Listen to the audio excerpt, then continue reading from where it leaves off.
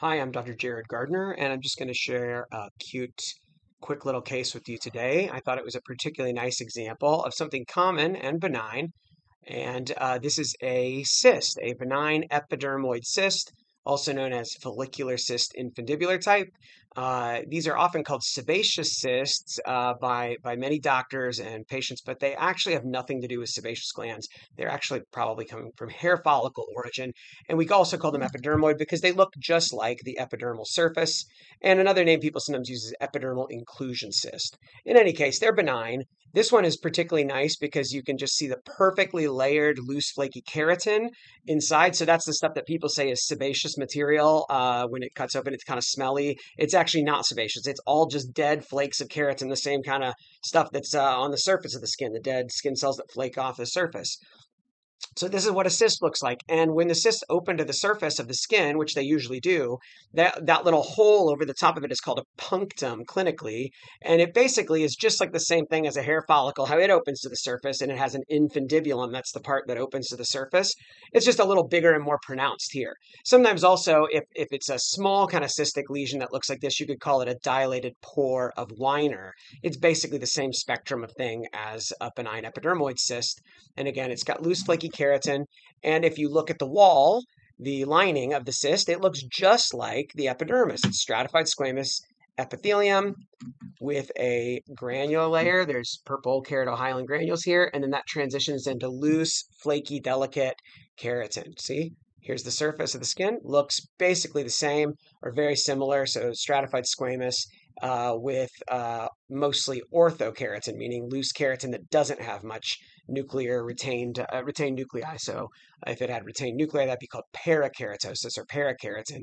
And you can sometimes see that if the cyst ruptures. But that is an epidermoid cyst, epidermal inclusion cyst, follicular cyst infundibular type. Whatever you call it is fine. Just don't call it sebaceous cyst. That's a pet peeve of mine. It, honestly, nothing is harmed if you call it that, but that's really not what it is. So uh, that's a really nice example of one. And here's the other cut of it. And this is a nice example to see that if you just cut a little bit to the side, so this was like a kind of a punch biopsy of this cyst. It was small enough to fit into a big punch. And we sectioned it down the middle and embedded those two halves in here. On this piece, you can see the connection. So it looks kind of like a cup, cup shaped invagination of the epidermis bulging down into the dermis. But over here, this is the same lesion, just a little bit over to the side. If you just cut just a little bit deeper and are past where it connects, it looks just like a cyst. So that's a kind of general rule in pathology is that things that look uh, like a uh, like a cup shaped indentation of the epidermis Usually, if you cut just a little bit to the side, you'll get to a part where you can't see the connection and it looks instead like a cyst. So that's true of like molluscum contagiosum, which is classically cup shaped. But if you cut a little bit to the side, it'll look like a cyst filled with molluscum or trichofolliculoma and some other cystic hair follicle tumors and uh, these kind of cysts, which again, the vast majority of these have an actual connection to the surface. You just don't always see it on the exact section you're looking at microscopically. So, a nice, benign, and beautiful case to share with you. Not anything too exciting, but something that's common. And this is a particularly nice example. And as a little bonus, here's some normal apocrine glands. This this case was actually from the axilla, the armpit, if you're a, a non medical person watching this.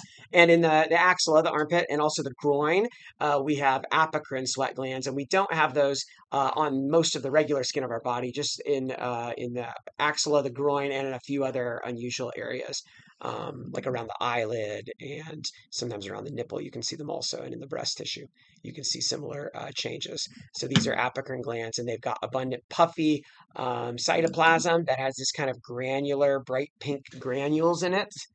And then the nuclei are big and round and have kind of prominent nucleoli, and that's what a normal apocrine gland uh, looks like. And apocrine glands, actually, their secretions which you see right there, there's a secretion that uh, gets released and goes up through a little tube into a hair follicle opening and then comes out to the skin surface eventually. And my understanding, at least, is that bacteria breaking apocrine secretions down is part of what makes body odor. So um, normal sweat, like the loose watery sweat, uh, the the thin watery sweat that you have like on your palms and soles, if you get nervous or or when you're working out, that kind of sweat doesn't really smell much on its own. That's eccrine um, secretion, but apocrine secretion, uh, it, it's supposed by itself it doesn't smell, but the body, the bacteria that live on all of our skin break it down and make it have uh, molecules that that cause a, a, bad smell. So that's my understanding of how uh, body odor is produced is from apocrine secretions uh, worked on by bacteria, and it's probably more complex than that because let's face it, everything having to do with the human body is always more complex than it seems at first glance. Anyway, I hope you enjoyed uh, this uh, little fun case. And uh, thanks very much for watching.